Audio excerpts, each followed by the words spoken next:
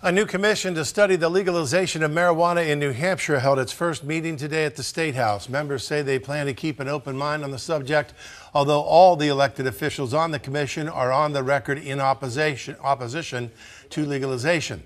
The plan is to start out studying other states that have already gone forward with legal cannabis. If it's going to pass in this state, because we're not a referendum state, it will pass through the legislature. And we want to certainly make sure the legislators have the facts, but also the public at the same time. Pro cannabis advocates with the Marijuana Policy Project initially expressed skepticism regarding the makeup of this commission, saying none of the appointees support legalization.